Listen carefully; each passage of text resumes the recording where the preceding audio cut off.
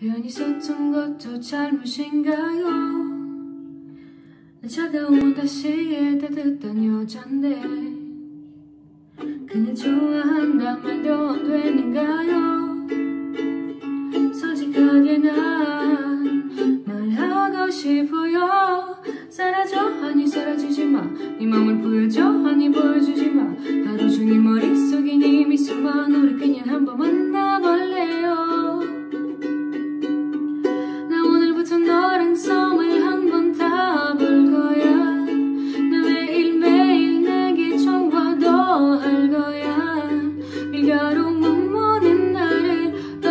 돌아간 너랑 맛있는 걸 먹으러 다닐 거야. 너무너무 스윗한 넌 정말 달콤한 걸넌